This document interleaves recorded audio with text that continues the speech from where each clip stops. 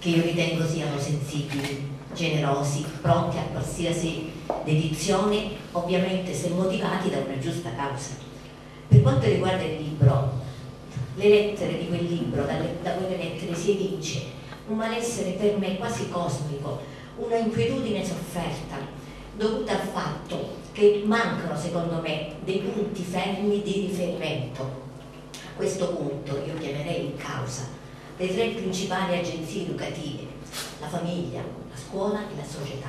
Tu parli di società, la società siamo tutti noi e allora vediamo come si potrebbe fare per dare a questi giovani una prospettiva futura di speranza, di fiducia in se stesse e negli altri. Quel libro è amaro, i giovani non hanno fiducia nella famiglia, non hanno fiducia nell'amicizia, non hanno fiducia nella società. Perché? Io so che le tre agenzie educative dovrebbero, per dare a questi giovani fiducia e speranza, operare in maniera sinergica, collaborare e soprattutto, soprattutto nel rispetto dell'altro di se stesso. La famiglia, nel quale il ragazzo muove i primi passi. Io penso che ce la mette tutta per far sì che il giovane possa promuovere al massimo quelle che sono le sue capacità. Però è sempre in contrasto spesso con la scuola. Vediamo le immagini che ci propinano i mass media di genitori, alunni che si scambiano contro i professori. La scuola, è vero, potrebbe avere delle carenze, io parlo da ex insegnanti, però ce la mette tutta, si prodiga per sviluppare nel migliore dei modi il potenziale umano, dà un orientamento scolastico, il guaio è che questo orientamento scolastico non sempre trova un riscontro positivo nell'orientamento professionale. Cosa succede? Tu parlavi di futuro quasi sconosciuto e ignoto.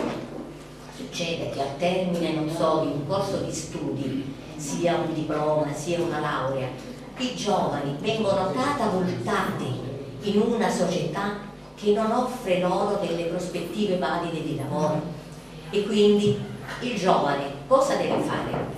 Deve quasi mimetizzarsi, diventare come un camaleonte, pronto ad accettare qualsiasi cambiamento.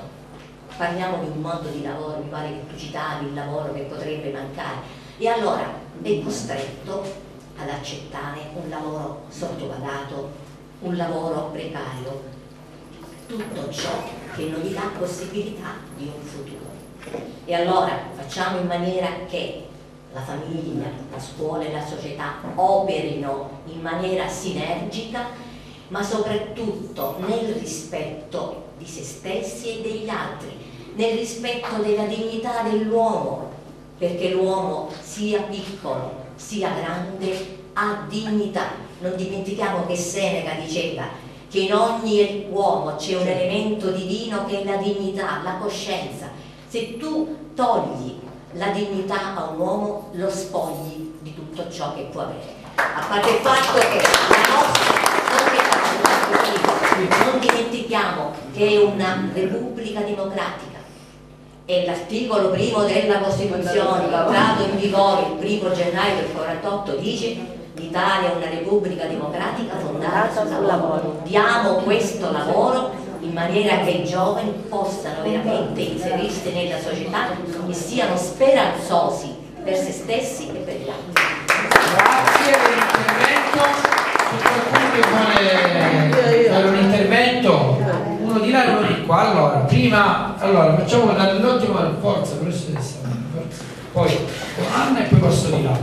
Facciamone due in una volta interventi. Io volevo intanto complimentarmi con la dottoressa perché ha parlato di individualismo e questo è molto importante e non di categorie. E poi ha detto una cosa che per me è importantissima e che io ho sempre osservato nella mia vita, posso dire, e specialmente nel mondo della scuola.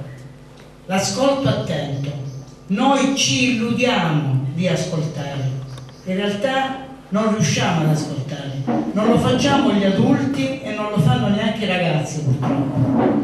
Poi capisco che eh, Enrico ricordo le parole di un preside che ebbe a dire non dire a tuo figlio leggi, perché non leggerà. Tuo figlio leggerà se tu leggi, perché il ragazzo non ha bisogno di sentire, ha bisogno di vedere. Esatto. Quindi, e questo mio modo l'ho utilizzato nella scuola, quello di stare molto attenti ai ragazzi, di cercare di capire quello che c'è dietro il loro sguardo, non dire tu meriti due, tu meriti tre, oppure devo portare a compimento questo programma perché lo devo fare. No, perché i ragazzi hanno i loro tempi e quindi sono io che mi devo adattare ai tempi dei ragazzi, perché io li devo in maniera particolare ascoltare. Quando venivano i genitori e mi chiedevano degli alunni, io dicevo sempre, ma voi che cosa comunicate con i vostri figli? Perché la cosa più importante per me era il dialogo io cercavo sempre di dialogare con i ragazzi, di capire quali erano le loro difficoltà, perché dietro un atteggiamento aggressivo c'era una famiglia con genitori separati, un problema di povertà e altri problemi che noi tutti conosciamo, perché qui è inutile che parliamo perché poi dovremmo esasperare addirittura il problema, perché ce ne sono tanti problemi dottoressa, lei ha ragione e poi c'è questa insoddisfazione, ma questa l'abbiamo avuto pure noi, perché alla nostra età anche noi ci siamo messi in contrapposizione con i nostri genitori. Cara mia scrittrice, giovane bellissima pure, io mi complimento con te perché sai veramente scrivere e questo oggi non è di tutti, però la scrittura è una cosa bella. E veramente come diceva la mamma, la mamma ha fatto bene, ti ha regalato un diario, ti ha guidato. Hai avuto una famiglia bella, questa, sei stata una ragazza fortunata perché hai avuto dei genitori che ti sono stati vicini. Forse questo non è per tutti, è forse un dolore oggi, perché oggi purtroppo la famiglia è crollata, ma non è crollata solo perché questa è la società oggi, ma perché c'è molto egoismo, perché molte volte più che stare con i figli si vogliono fare altre cose, ognuno cerca di fare qualcosa per sé quindi nella famiglia ci dovrebbe essere meno egoismo, i genitori dovrebbero stare più vicini ai figli. E io dicevo sempre, che cosa dovete fare? La domenica prendete il vostro figlio, mettetelo in macchina e, e andate a mangiare la pizza. Però mentre siete in macchina parlate con vostro figlio. Quindi in realtà andate a mangiare la pizza, ma non è quella la vera realtà. La vera realtà è il dialogo che riuscirete a instaurare con i vostri ragazzi. Perché solo così si può costruire veramente e, e dialogando si costruisce nella famiglia, dialogando si costruisce nella società pure. I professori devono dialogare con i figli, nelle associazioni bisogna guardare attentamente ragazzi, i ragazzi hanno un mondo dietro di loro, come ce l'avevamo noi, cerchiamo di scoprirlo insieme questo mondo. Grazie, infatti stavo portando il microfono a voi, così poi un intervento. Mino che in realtà eh, professor Ricotti mi aveva chiesto una cosa che poi ho, ho disatteso, no? mi chiedeva quali, quali proposte, quali, eh, cosa possiamo fare. E allora, vabbè, cose da fare ce ne sarebbero tante, io credo che se ci ascoltassimo anche quelli che siamo qui, ognuno di noi ha un'idea. Eh, però eh, restringendo il campo e parlando solo della nostra città, eh, ne abbiamo già parlato con Giuseppe, eh, stiamo proponendo, quindi, quindi, ne parliamo e siete tutti invitati, eh, un metodo che ci possa consentire di coinvolgere tutti i cittadini e quando dico tutti i cittadini significa tutti, significa anche i quindicenni, i sedicenni, eh, ognuno con un ruolo preciso. Eh, questo ci consentirebbe davvero di poterci ascoltare, di poter proporre eh, delle, eh, delle, iniziative, ma soprattutto un'organizzazione che possa consentirci di, far, di creare sviluppo in questa città. Eh, io poi vi invito a, non so come possiamo fare Giuseppe se c'è la possibilità di inviare una mail. Sì, lo possiamo allora, fare. Intanto io vi dico, questo metodo si chiama Reggio Proattiva, tutto attaccato. Eh, anche qualcosa intanto c'è su una pagina Facebook eh, dedicata, ma ci sarà presto il sito. Eh, ve lo leggete con calma, se volete lo sottoscrivete, ci tengo a dire soltanto una cosa perché è la domanda che mi viene posta sempre. Allora, innanzitutto chi è promosso questo metodo? Dai cittadini. Non c'è alle spalle un'associazione, un movimento, nulla, semplicemente ogni cittadino che sottoscrive diventa eh, di conseguenza organizzatore, quindi per una volta non si sono riunite 3-4 persone a decidere le sorti e a chiedere consensi. Seconda cosa, è un metodo che si contrappone all'attuale amministrazione comunale o a quelle passate? No, assolutamente no eh, vogliamo pensare al, al, presente e al futuro da cittadini, eh, tanto che questo metodo è stato sottoscritto anche da persone attive in politica. Per fortuna la prima persona che ha sottoscritto mi sono un po' preoccupata, dico ecco ora verrà letto come da, eh, un metodo di parte, per fortuna poi hanno sottoscritto anche dei politici, ormai abbiamo coperto tutte le coalizioni, quindi ecco, quindi non c'entra. È un metodo che eh, è, si parla di politica con la P maiuscola ma politica dei cittadini perché continuiamo a fare iniziative davvero interessanti, convegni, ci stiamo formando tanto, io dico sempre che Reggio ha raggiunto comunque un livello culturale alto e ve lo dico, forse non ci credete ma io lavoro tantissimo fuori eh, in giro per l'Italia quindi ho un po' la misura di quello che accade sugli altri territori allora noi a Reggio magari perché non abbiamo tante altre cose da fare eh, abbiamo la possibilità di partecipare a convegni eh, ogni settimana abbiamo 3-4 convegni interessanti sul territorio anche tutta la parte culturale si è molto sviluppata anche grazie alle muse no? un tempo non avevamo tutta questa offerta di cultura. Però adesso è necessario trasformare ciò che sappiamo, ciò che abbiamo consapevolizzato in azione, perché se no continuiamo no, a crescere in cultura ma non utilizzare questa cultura per, eh, per agire. Quindi okay. eh, è intanto una risposta a Cristina, eh, intanto invito Cristina a sottoscrivere perché come diceva la professoressa eh, voi, no? parlo con te eh, di, poi come rappresentante anche di altri ragazzi, voi avete bisogno di essere ascoltati, però ascoltate. Quindi c'è la possibilità, ci sono le occasioni in cui vi viene chiesto, molti ragazzi della tua età già hanno, hanno sottoscritto, sono già attivi, c'è la possibilità di eh, partecipare, essere protagonisti del, del presente e del futuro dovremmo fare, eh, dire, eh, proporre un incontro altro eh, per affrontare e eh, approfondire alcune tematiche che sono emerse, alcuni spunti, ad esempio quello del lavoro.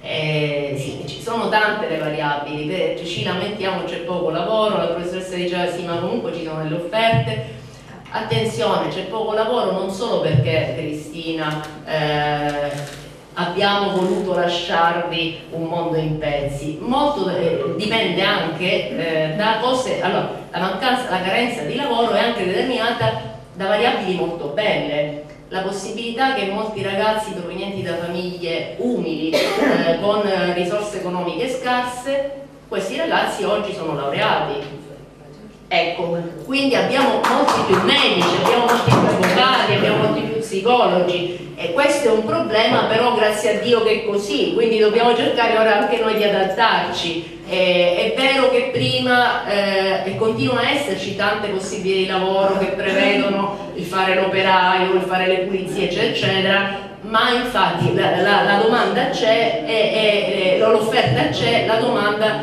è eh, interpretata da persone che non sono italiane.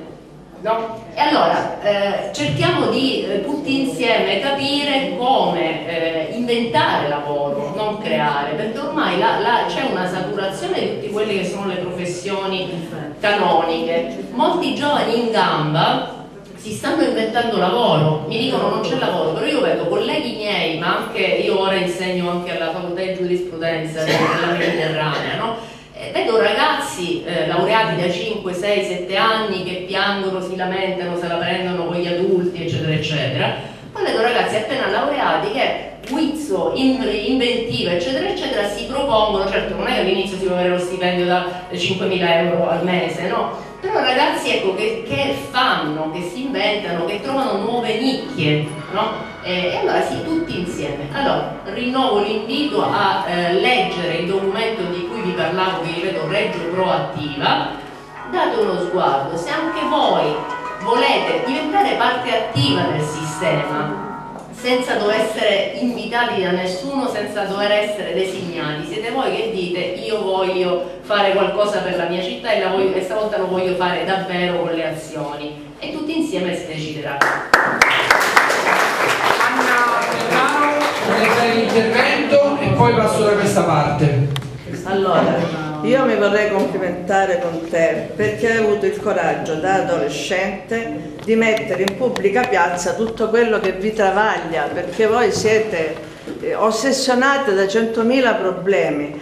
E io penso, perché parlando con molti giovani, anche per quello che hai esposto nel libro, che vostra questo vostro subbuglio d'animo, eh, irrequietezza, disubbidienza, non voler ascoltare le parole del, dei genitori, non prendere consigli in famiglia, fare di testa proprio, vi, vi viene perché nella vostra generazione manca la vera presenza della famiglia. E quindi per voi è una forma proprio di ribellione. Di ribellione perché la mamma sicuramente è poco presente. Io suppongo che tu perché sarà, è successo a me sarà successo a loro da piccoli siete stati sballottati una volta dalla nonna, una volta dalla zia, una volta da qua, una volta di là. Quindi siete cresciuti in un ambiente incostante, non protettivo, quindi oggi vi sentite proprio nella situazione di ribellarvi a questo mondo.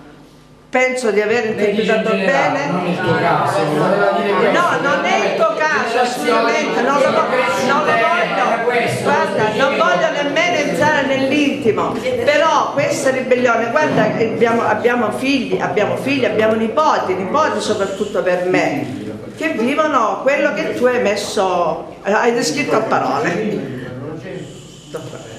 Grazie Anna, vuoi rispondere?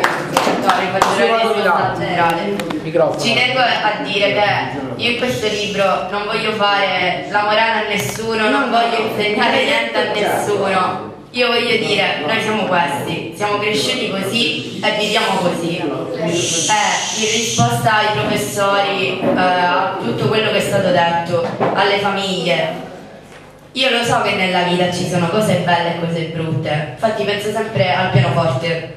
Io suono il pianoforte, sono cresciuta anche con quello. Il, la melodia si suona con i tasti neri e con i tasti bianchi, però nel pianoforte di tasti neri ce ne sono di mano che di tasti bianchi, quindi è vero che la scuola insegna tanto. Io posso testimoniare che la scuola adesso, almeno per quello che ho vissuto io, che ho visto con i miei occhi e so le situazioni, la scuola mi insegna che c'è tanta corruzione pure che c'è corruzione, che non c'è meritocrazia, perché se a, a 14 anni un docente mi viene a dire le raccomandazioni esistono, esisteranno, allora io a 14 anni rispondo ma che cosa mi state insegnando? Complimenti al docente, perché, perché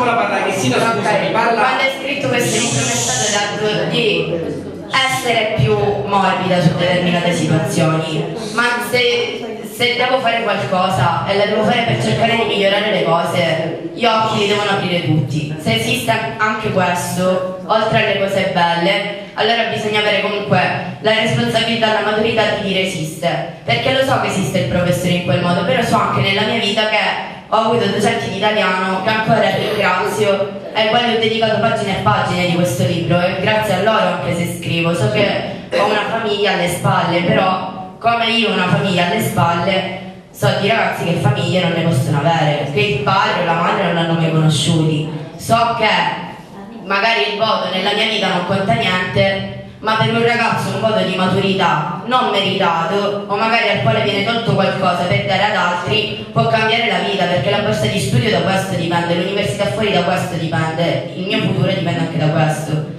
Per questo ho detto devo essere schietta perché voglio che comunque non si faccia di tutta l'erba un fascio ma si dica esiste, esiste, esiste e dove c'è il marcio devo cercare di migliorarlo.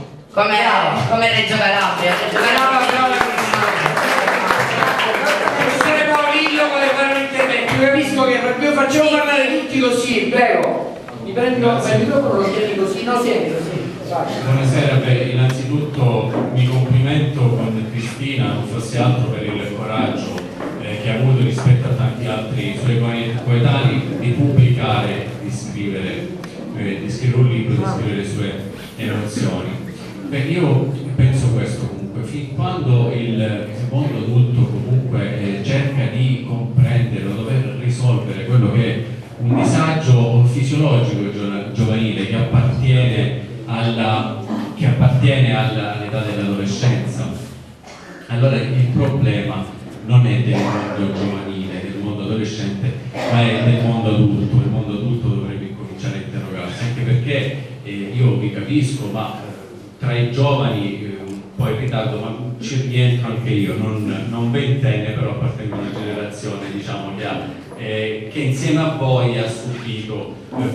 cambiamento dagli anni 90 fino adesso e c'è una società oggi adulta che sembrerebbe quasi schizofrenica, ci confonde. Ecco, i genitori che dicono al figliolo non litigare col compagno di classe e magari durante la partita del bambino fanno a cazzotti col, eh, col papà dell'altro genitore. O mamme ad esempio che dicono alle figlie vesti un po' più decente, magari come esci in questo modo e magari lei è la prima che a 60 anni quasi eh, ridicolo anche nell'età più bella vivere. Eh, però a volte si ridicolizza in questi termini. E da qui concordo poi con le parole della dottoressa che bene o male abbiamo detto un po' tutti che è quella che i giovani alla fine che cosa fanno?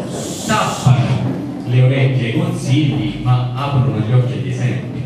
Che la nostra società non è che ha dato dei begli esempi a, ai ragazzi. La domanda comunque che volevo fare a Cristina è se eh, come fosse, eh, o perlomeno come potesse essere il prossimo tuo libro se anziché vi parlo di noi fosse intitolato vi parlo di me. Eh, che domanda! Allora, io ora il 16 maggio faccio 18 anni, i miei amici il mio video l'hanno iniziato con vi parlo di lei, quindi già così. Allora, vi parlo di, di me. Se dovessi scrivere adesso un libro su me stessa, onestamente probabilmente comincerei con la scrittura come ho sempre fatto e farei della scrittura il filo portante della mia vita. Però il, allora, quello che, che sono è, è dovuto anche alle esperienze che ho avuto nella mia vita e molto spesso mi viene detto che ho 18 anni, però sembro una ventenne che ragiona come una sessantenne, quindi trentenne, diciamo quarantenne. Il, ehm, sono comunque quello che sono e voglio scrivere, voglio cercare di cambiare le cose perché l'ho visto fare dai miei genitori, non posso negarlo.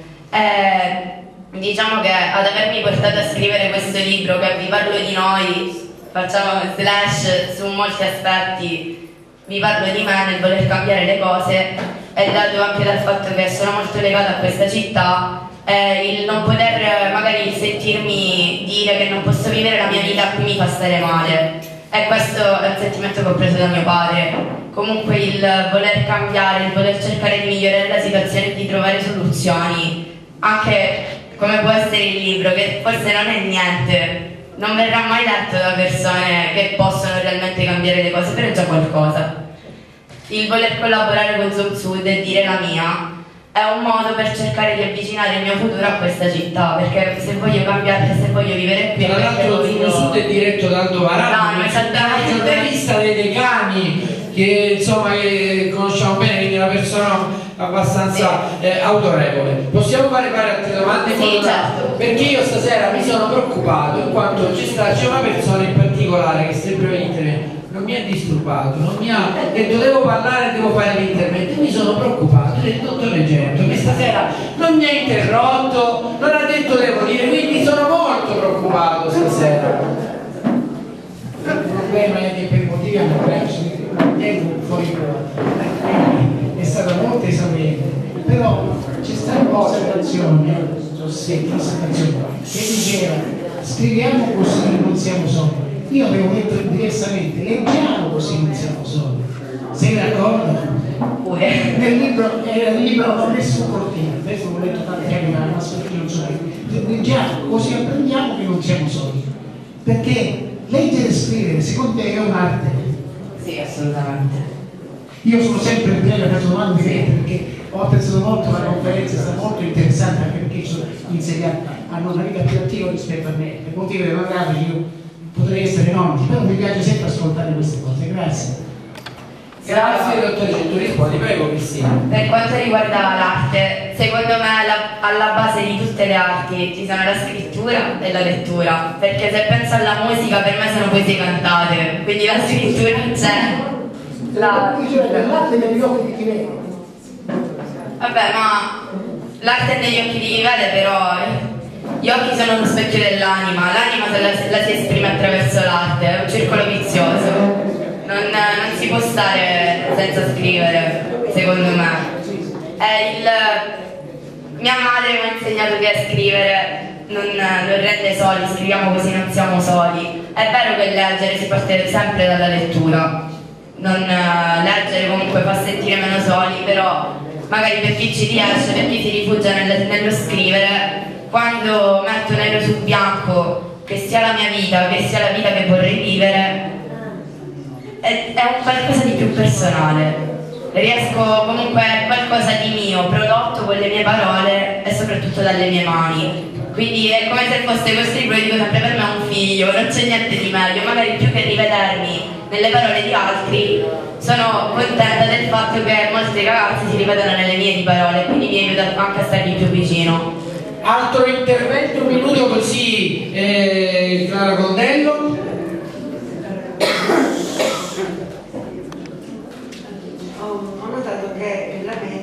l'autrice il fatto che eh, a questa generazione siano rimaste le briciole, ma io dico che tutte le nuove generazioni hanno le briciole, anche io ho avuto le briciole della generazione precedente. E anche mia madre e anche sua madre, però credo che la forza dei giovani sia proprio quella di ricostruire la torta da queste briciole, anzi già tanto ne hanno le briciole, perché dovrebbero costruire la torta senza briciole dall'inizio. E questa è una cosa. E poi un altro volevo dire che eh, notato che lei non pensa bene dell'amicizia però al di là del fatto che lei non pensa bene dell'amicizia può essere anche ragionevole voglio dire alla sua età o aver avuto delle delusioni la cosa che mi ha delusa, mi ha fatto molto dispiacere, è che questa affermazione ha avuto tanti applausi. Vuol dire che tanti di noi non crediamo nell'amicizia. Ho un po' pianto dentro di me, mi dispiace, però io ci credo, perché io non aspetto nulla dagli altri, io do. Perché do? non mi importa che gli altri non mi siano amici nel senso che non mi diano la, uh, quello che dovrebbe dare l'amicizia. Io do e basta. L'amicizia è un servizio che basta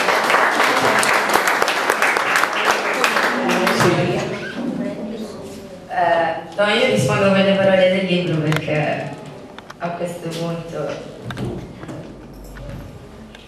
allora che ci sia anche questo è vero ma io miei, le mie amicizie ho amicizie che durano da quando avevo una settimana di vita e ora arriveranno a 18 anni di amicizia e ci credo, ma come ci credo? Credo a questo, credo anche che esistono, esiste come esiste nell'essere umano il bene e il male.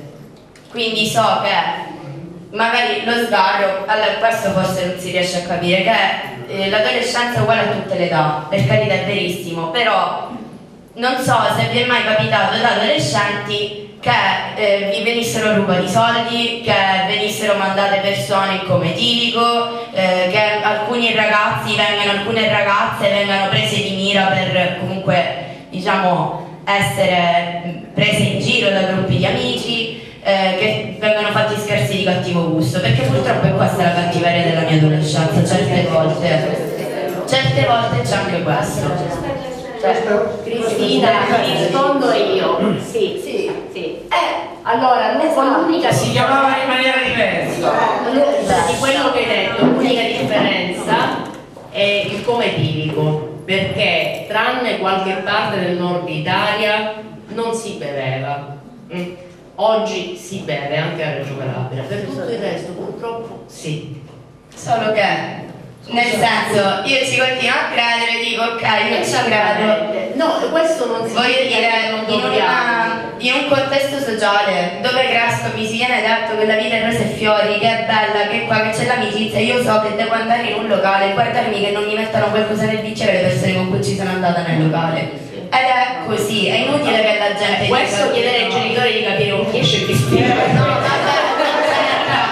questa è una cosa, non è la mia esperienza, è cosa generale. Allora, forse ci sta, sai allora io credo che, come dire, stiamo un po' confondendo perché tu ti sposti no, spesso dal io o io... No, allora, io è generale, facciamo no. così, no, allora forse non ho un problema, però so che esistono.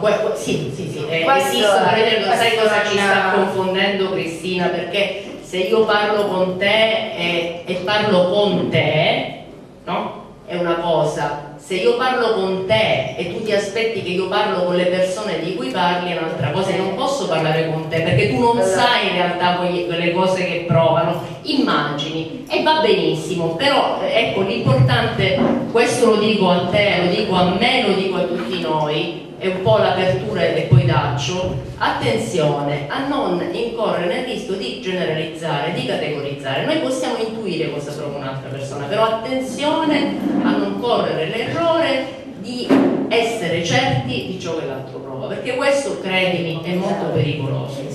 Non, allora, rispondo alla signora. Sì, poi rispondere alla signora. Rispondo generale. Cristina Liotta, qui presente, nell'amicizia non ci crede, ci basa la propria vita, perché l'ha sempre fatto per vedere le persone. I miei protagonisti del libro, come c'è chi nell'amicizia ci basa la vita, c'è chi nell'amicizia lo fa. Io eh, quando mi si chiede la trama del libro ho difficoltà a riassumerla, perché non è né tutto nero, né tutto bianco né grigio, è tutto, c'è chi si ama, c'è chi si odia, c'è chi si non ci crede, c'è chi ha la famiglia, c'è chi lavora, c'è tutto, infatti è impossibile attribuirlo a una persona per quante differenze di personalità vi siano presenti.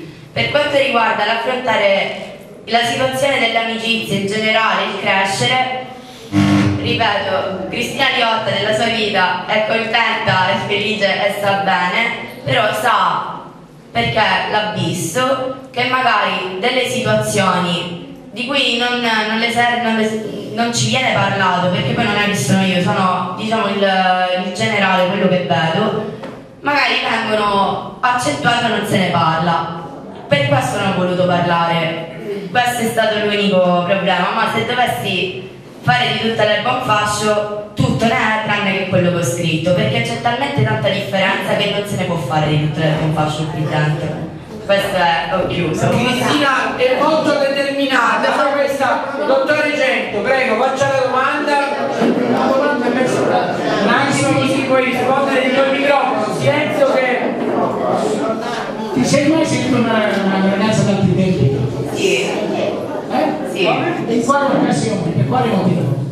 Eh, no, me ne sono accorta guardando un film veramente, perché mi, ho dei gusti personali a livello di qualsiasi cosa nella vita che mi fanno pensare agli anni venti. Quindi mi è capitato di vedere un film di Woody Allen che è Midnight in Paris e ho detto sarei voluta nascere negli anni venti.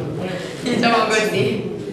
L'argomento è abbastanza, voglio dire, io questo mi viene, eh, insomma, volevo chiederlo pure a Teresa, ma in effetti i giovani, a volte io vedo, non posso fare nomi, non posso fare, mi è, mi è capitata una collega da un ragazzo di sostegno che naturalmente eh, che, ha, che ha il sostegno e che è, ha problemi alle arti, mentalmente non, non capisce, eccetera, è venuto a chiedere le prove di matematica. Che cosa? Il ragazzo non ha fatto le prove di matematica, deve fare competenza, ma se il sostegno e se non è in grado di, di, di capire, cioè voglio dire il problema a volte siamo noi, no? È è anche l'approccio, perché quando entriamo in una classe noi andiamo a identificare le diverse tipologie. È cambiato il docentato o è cambiato il modo di insegnare? Io questo dico, perché quando una collega più grande di me viene e mi chiede le prove di matematica di un ragazzo che ha il sostegno e che ha problemi che non riesce neanche a stare in piedi che sulla sedia a rotelle. E perché anche Cioè, qual è il problema? il sostegno dovrebbero essere. No, io non lo so. Sto dicendo una cosa, guarda, che è Qualche terribile. allievo eh, dotato di sostegno c'ha un programma differenziato perché in base alla, alla loro, al suo ente. Ma perché capiamo a volte? No, invece io non lo so se era un, eh, eh, un- no, un handicap intellettivo, perché se il ragazzo intellettivamente No, è anche handicap intellettivo, quindi siamo noi che non sappiamo. Io sto anche facendo questo es- Io esempio per dire, talvolta si cerca anche di far partecipare il ragazzo portatore di handicap all'interno di una classe, anche di attività semplici e a programmi differenziati. A differenziati. Allora io perché sto dicendo, ho detto questo particolare non per parlare di un caso, però per dire a volte siamo noi docenti che non riusciamo a capire quali sono le dinamiche, per cui una Cristina che si trova in una classe percepisce che non trattiamo capitano queste, no, no, no, no. Io vi sto parlando di una situazione nostra di docenti, siamo noi che non riusciamo a entrare in comunicazione con... Allora, eh, il problema è questo, non tutti possono essere trattati allo stesso modo. E quindi nella eterogeneità è chiaro che c'è Cristina che è un essere pensante, mi permetto di dire pensante rispetto a quelli frivoli che si impasticcano. E li abbiamo eh, visti tutti. Voglio dire, ai miei tempi anche noi ci saremmo potuti impasticcare, non è che non c'erano, non è che non... Io ricordo, voi immaginate io a 15, allora io a 15 anni mi ricordo andrai a Londra e entrai, entrai in una discoteca di sette piani.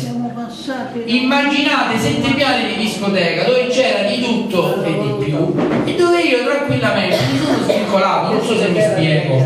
Cioè il problema a è sì anche della famiglia che riesce, ora c'era infatti la mamma che voleva dire, voleva dire, voleva dire qualcosa, ma è a volte anche come ent- entriamo noi, interagiamo o no nella società, con le persone. Io penso che sia che lei sia un unicum su um, voglio dire in questa città sono pochi quelli che d'altra parte l'associazionismo popolo giovane non ne ha c'è anche questo problema no? anche questo è un, un Loredana che volevi dire?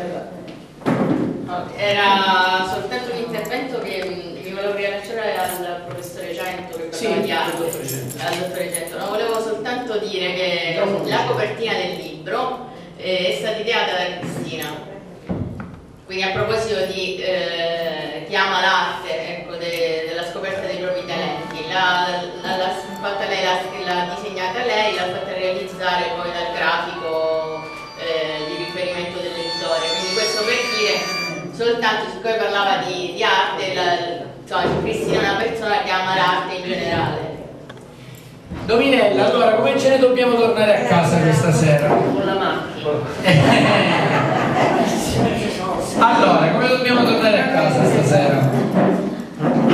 Dobbiamo tornare a casa eh, con, con l'impellenza più di eh, dirci, di ascoltare, eh, con, eh, con mandare via la fregola di eh, voler sempre avere le idee chiare, perché questo ci dà sicurezza, eh, con il restituirci la sicurezza che ci consente di ascoltare l'altro così, in attesa, e poi magari farci un'idea, no? E quindi torno riassumendo al, al concetto di, di ascolto, di ascolto, ascolto non solo dell'altro, ascolto del territorio, ascolto di quello che accade, però così come un bambino stupito che non presume già di sapere cosa accadrà, con lo stupore che io credo ad ogni età ci dobbiamo consentire, ad ogni età. Io conosco persone meravigliose davvero che hanno superato i 90 e che vedo stupirsi ancora, parlo di persone colte, persone davvero che hanno un'esperienza di vita, una cultura accademica,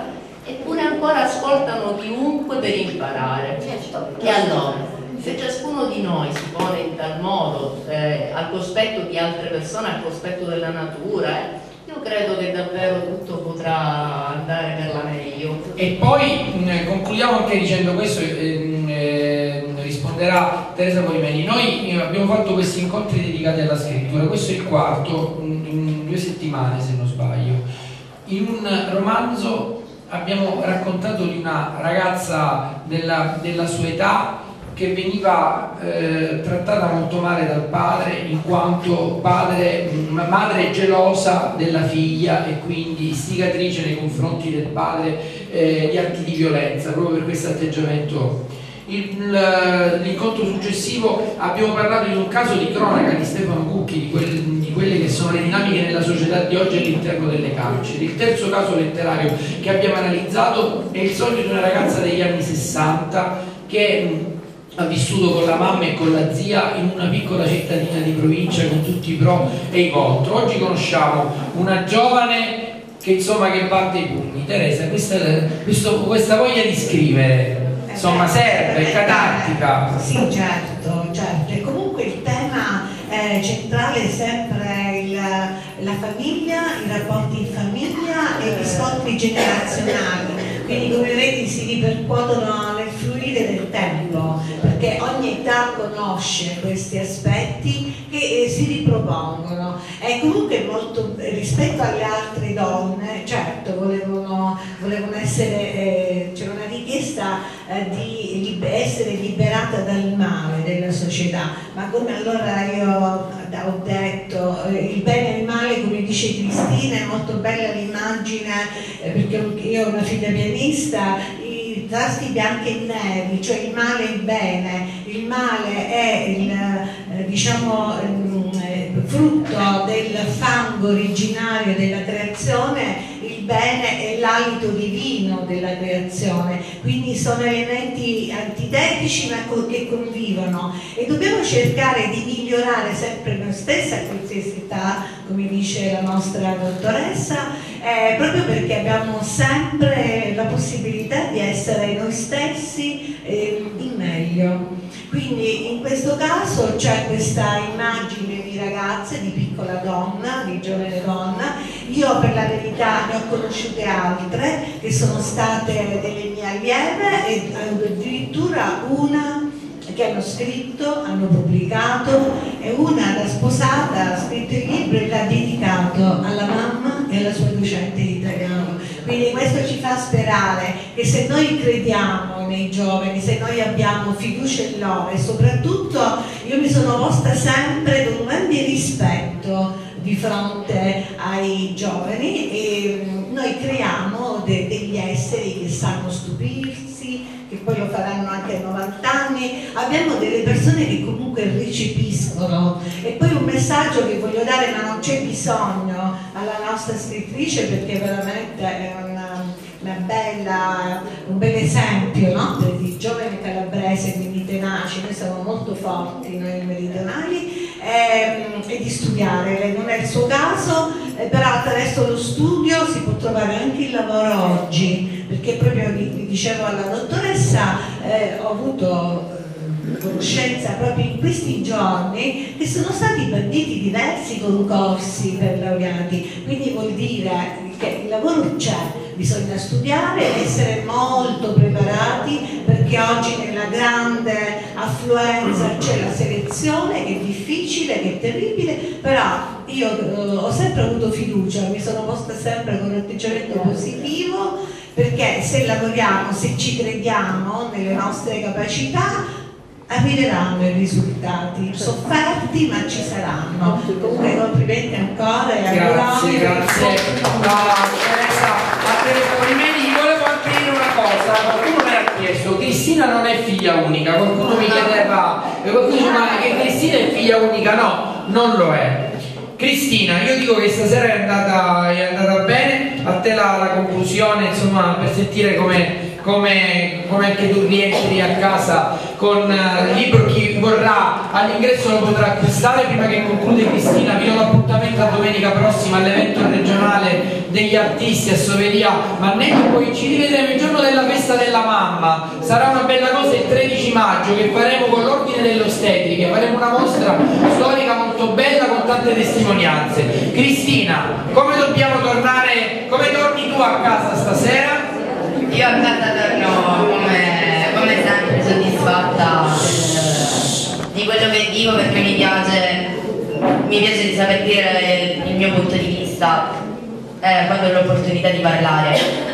Io vi lascio dicendo, io il pasto l'ho fatto e l'ho fatto a nome di tanti altri. L'ho fatto, forse lo posso aver fatto male, in maniera sbagliata, bene, scrivendo bene. Se prendete questo libro e comunque avete voglia di leggerlo, leggetelo veramente mettendomi in discussione col cuore in mano e dicendo, scegliendo se afferrare quella mano e mettendoci del vostro, metterci del vostro oppure se non afferrarla proprio e lasciare le cose così.